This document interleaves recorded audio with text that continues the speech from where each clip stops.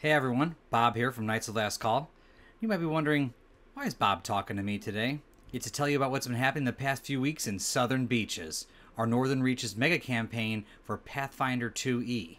My goal here is to give you a really quick recap of the past few weeks in Southern Beaches. Now, you could go to the Game Write Ups channel and read all this stuff, but I figure I'd give you a very high level, thousand foot level view of Southern Beaches. Let's do this very quickly. We have four zones Sapphire Lagoons, Sunfire Plateau, Shadow Shell Cove, and Coral Heart Jungle. Not to mention our Serenity Sands Resort, where everyone is uh, getting comfy. So, what's been going on? Let's start with Sapphire Lagoons. Over in the Sapphire Lagoons, the party made an alliance with the Chief River Breaker, a goblin, and they teamed up to defeat the elementals. Then, after defeating them, they backstabbed them to get the treasure. Now, this could open up a whole can of worms. Stay tuned later to find out. But maybe you're interested in something different in the Sapphire Lagoons. How about punching sharks in the arena? That's been going on as well. Maybe you'll find yourself rolling over the beaches in the Sapphire Lagoons. One of the parties built a massive sandcastle to defend Princess Chonk and then fought waves of crabs and sandmen. They eventually lost, but not before making an epic sandcastle. The party has also opened up a treasure vault and found one of the mast fallen pinned to the wall with an iron spike. Later on, a party was asked to help save a beached whale. Then noticed the naughty guests from the neighboring Private Paradise Premium Club, the PPP, as we've come to know them. Their resort threw trash all over the beach, and they beached the orca overnight. The party helped clean up the beach while defending off creatures attacking the whale. Then it helped push it back into the water. Now the party is teaming up with exiled merfolk to fight against the goblin. Let's mosey on over to the Sunfire Plateau. Players here have found a magical Fey spring that has healing properties, but this spring is in the Fey realm. They discovered a portal to get there. The Fey do not welcome outsiders, and will need to be killed to provide permanent access to get these healing potions. The players have found out that the old man quest giver is abusive towards children. They had found the alchemist and his lair. Now it is apparently very trapped. Now, we talked earlier about the shark punching arena, but now the fight has taken itself to the land. Fighting on the beaches is more this more this zone style. A big ass, but Chef Cleaver O'Galley has a quest to recover a couple of exceptional giant terror strike eggs. The party was able to get these items and help whip it into some of the fluffiest omelets the world has ever seen. But that's not all the chef wanted. He wanted some delicious candied hydra bacon for the resort as well.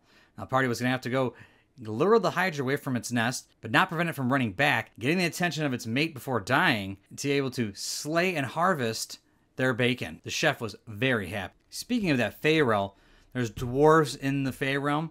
They just want to be left alone. Sunfire Plateau is, is known for its many cliffs, but there's a 500 foot cliff wall with caves to explore at various heights. Very hard to get to. Make sure you're prepared to get to these caves. They have found signs of long gone elves as well as some kind of sucking hole. Maybe the Shadow Shell Cove is the place to relax. One party encountered several undead.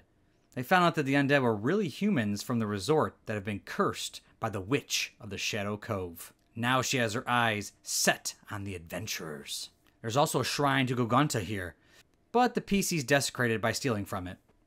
On one quest, the PCs were able to rescue the missing researcher, skirt some valuable data, and fought off groups of undead sailors, including crab mounted artillery? Maybe you were in the first volleyball match. Last Knights versus the Trollhammers. Good thing the Last Knights won 2 0. Now, this one's interesting. The PCs were once again contracted by Felden, and they were, they were able to re- retrieve the remaining data from earlier. They discovered that the measuring device he was using to study a strange arcane phenomenon ended up channeling electro arcane magic into deadly into a deadly maelstrom, reanimating nearby corpses and throwing lightning across the room. Could Feldon be on the cusp of pioneering a scientific field of electricity based on corpse reanimation? And last but not least, the Coral Heart Jungle. The party made a promise to Jimmy Puffett to find some ice cubes after the resort ran out of ice. They had to trek through the jungle, but they ended up finding the Ice Wallow Cave and fought an ice golem and an icy spider where at the back of the cave it led to the ice plane but they were able to get those ice cubes for the new drinks at Jimmy's new bar. There was also a rumor about an abnormally violent unicorn.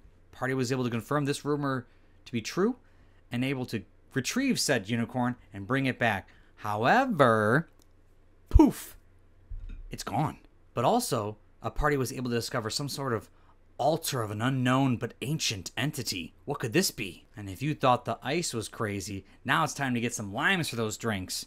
They found some Emporials that had tons of fruit if they agreed to help find the lost warden of the grove. In doing so, they found a chest impossible to open. Emporials warded them, the limes, and they found out that they worshipped something called the Green Death. Now that's the four zones, but what is it that makes Kelsey Mega Game unique? the events, and the progress clocks. Let's talk about one of the events that's going on first. We have the good East Side versus West Side event clock going on. During the duration of this event, for any encounter with goblins and or hobgoblins in the Sunfire Plateau, GMs must give any number of goblins or hobgoblins in the encounter the weak template, which does not affect the encounter budget. For an encounter with the goblins or hobgoblins in the Sapphire Lagoon, the GMs must give any number of the hobgoblins or goblins in the encounter the weak template, which does not affect the encounter budget. And we have two progress clocks going on right now Ancient Mysteries and Stirrings in the Night.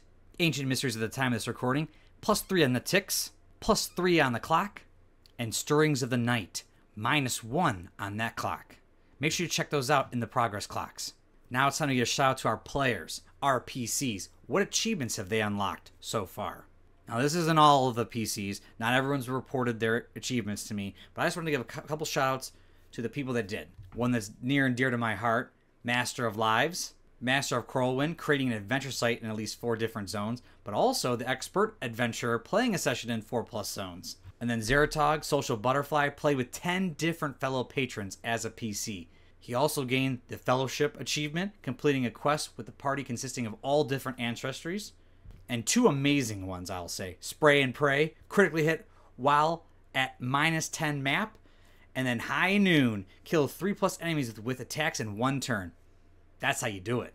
Now, again, hopefully this is a quick recap.